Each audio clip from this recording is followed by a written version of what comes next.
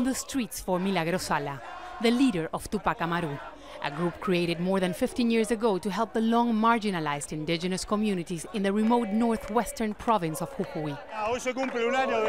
Today it's one year since Milagro Sala has been detained. She is a fighter, someone who struggled against injustice, and her being in prison is an embarrassment to us all.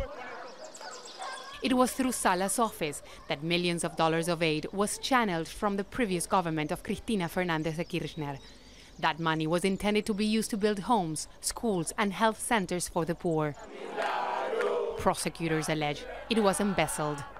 Milagro Sala has been in prison for a year without a sentence. These people say that she is being politically persecuted, not only by authorities, but also by the judiciary of the northern Argentinian province of Jujuy.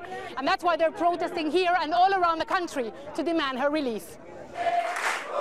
At the Tupac Amaru headquarters in Buenos Aires, human rights groups gathered to explain why her detention is a serious threat to Argentinian democracy. It has taken us years to seek justice for the human rights abuses committed during the dictatorship. We did what no other country in the world did, which is to try military members in common courts. We are an example, and now, because of what is being done to Milagro Sala, we are once again going back in time. Our democracy and the rule of law are at risk. Sala was originally arrested after she was accused of inciting violence during a protest against the current governor of Jujuy, a close ally of President Mauricio Macri. Since then, the list of her alleged wrongdoings has grown. She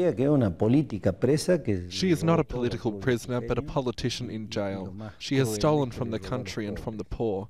She was given millions, and there are houses that are not there. It was a model that was corrupt and violent. What can be discussed in her case is preventative detention, but that's the similar situation that thousands of people are going through in the country. And that's one of the reasons why people here are demanding her release. They claim the political powers now in control of Argentina are likely to ensure that a woman devoted to helping Argentina's most vulnerable won't get a fair trial. Teresa Bo, Al Jazeera, Buenos Aires.